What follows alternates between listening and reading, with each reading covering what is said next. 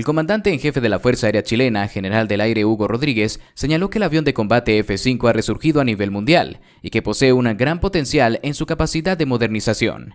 En una entrevista concedida al medio de defensa Pucará, el general Rodríguez se refirió al futuro de los aviones de combate Northrop Grumman F-5E F-Tigre III, que opera el Grupo de Aviación número 12 de la Cuarta Brigada Aérea de la Fuerza Aérea de Chile, indicando que la flota de F-5 se encuentra con un horizonte de vida importante. En este sentido, es necesario enfatizar que esta plataforma ha resurgido a nivel mundial, y son muchos los países que la han mantenido e inclusive extendido su servicio. Lo anterior gracias a que la plataforma F5 mantiene excelentes prestaciones y posee un gran potencial en su capacidad de modernización.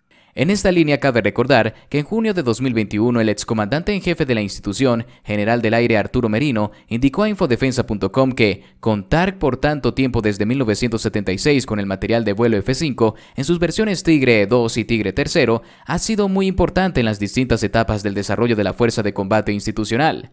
Este sistema ha tenido una serie de modificaciones a lo largo del tiempo, que le han permitido operar sin restricciones hasta el día de hoy incluso en un escenario geográfico muy distinto al que en un comienzo se definió para la operación de los F-5.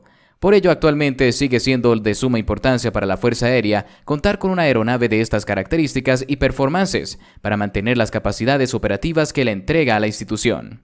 Los actuales Tigres australes se mantienen vigentes en su operación y se espera que siga siendo así en los próximos años, lo anterior a través de un adecuado mantenimiento y procesos de actualización, acordes con su ciclo de vida y, si es necesario, con el complemento de otros proyectos que se pudiesen dar para garantizar la interoperatividad con otros sistemas de armas. Dentro de la planificación institucional, no se descarta la posibilidad de una nueva modificación de sistemas y o estructura de la aeronave, que resulte en una extensión de vida para el material F5. La última actualización de los F5 chilenos estuvo a cargo de EI, RUAG, ENAER y DTS, esta última empresa una filial de ENAER.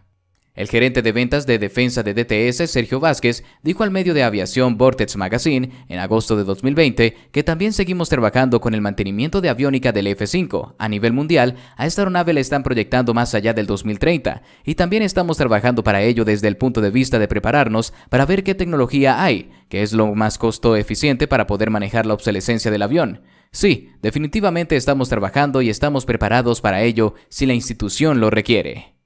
Y bueno, garras, hemos llegado al final. No olvides de seguirnos y dejarnos un buen like. Hasta la próxima y que Dios los bendiga.